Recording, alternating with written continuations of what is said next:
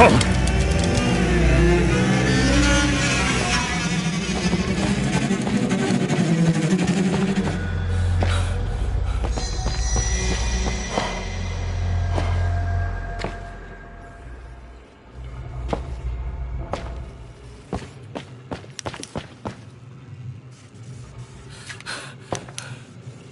What the hell?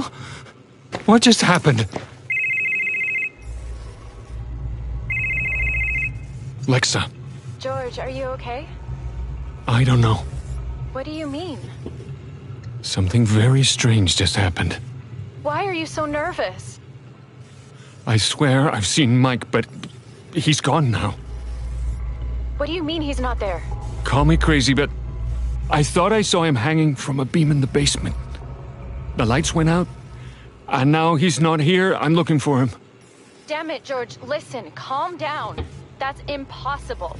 You've come a long way, you haven't slept at all, and your mind is playing tricks on you, okay? What are you doing in the basement? You should get out of there right now. I can't. I need to know what happened here. George, please, don't stay there. I can't leave things like this, Lexa. I need to know what happened to Mike and his family.